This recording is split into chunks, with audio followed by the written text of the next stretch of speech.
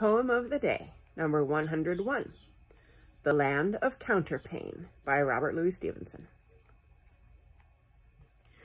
When I was sick and lay abed, I had two pillows at my head, and all my toys beside me lay to keep me happy all the day. And sometimes for an hour or so I watched my leaden soldiers go with different uniforms and drills among the bedclothes through the hills and sometimes sent my ships in fleets all up and down among the sheets, or brought my trees and houses out, and planted cities all about. I was the giant, great and still, that sits upon the pillow hill, and sees before him, dale and plain, the pleasant land of counterpane.